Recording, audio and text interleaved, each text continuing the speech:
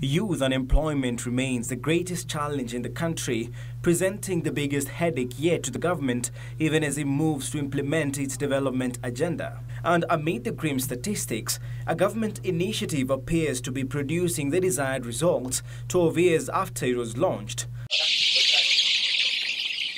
Meet 30-year-old Elizabeth Wanjiku, a poultry farmer in Bahati constituency whose farm is buzzing with activity with a flock of 3,500 layers.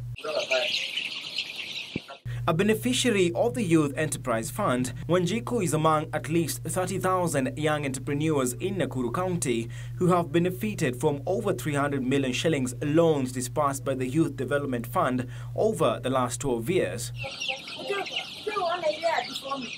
After resigning from her marketing job in the capital, Nairobi, back in 2014, with a little capital from her husband and a 300,000 shillings loan from the fund, Elizabeth began her poultry business with just 1,500 baht, and the thought of turning back has never crossed her mind ever since. My plan is to be through by May, repaying the loan, then I can apply for more and expand my project.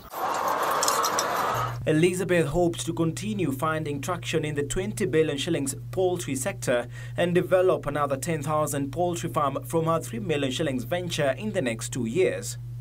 And I'm also planning to open up my own shop. You see, when you, you sell directly to the consumers, you're able to make more profit. You're able even to interact with them, know what they want.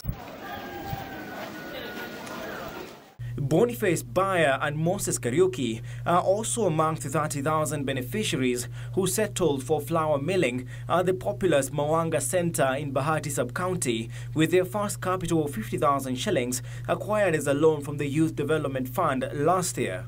With a soaring market over 5 kilometer radius, Henrock Millers has managed to give a livelihood to its 10 founders while enriching the food value chain of their market.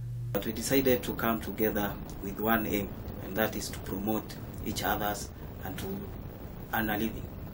The group's chair, Moses Kariuki, says members have been able to repay the 50,000 shillings loan last year in the stipulated time frame of three months. Since uh, July, we incorporated this group into a company and we have uh, been able to employ six people. Three people in the field and uh, two people are in the transport department and one is in the store where we, the, the business is based. Youth Enterprise Fund South Rift Regional Coordinator Evelyn Chemutai is a over the loan uptake among young entrepreneurs but appeals to more youth to acquire the loans which she says are disbursed equitably. However, Chemutai attributes isolated cases of business failure to impatience among borrowers as well as lack of sufficient knowledge among targeted beneficiaries. These youth want quick money.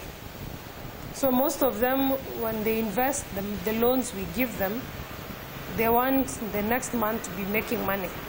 So when, when they invest in businesses that don't give them money very fast, you, you find them abandoning these businesses to now go and find short-term jobs. The startups range from agribusiness to many manufacturing enterprises, which are raising prospects for higher economic empowerment among youth, who comprise 70% of the country's population.